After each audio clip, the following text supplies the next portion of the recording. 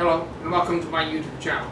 Once again today I'm doing barehanded skills. This time the idea is that I start from here and if the punch comes in here I simultaneously block to the side and counter. But if the punch comes over to here I come down on top and then right over the top. So it's either this or this.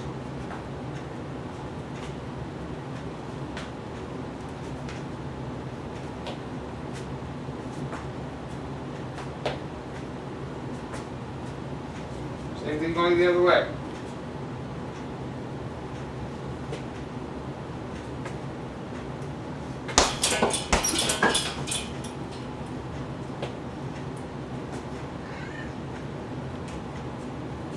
Something like that.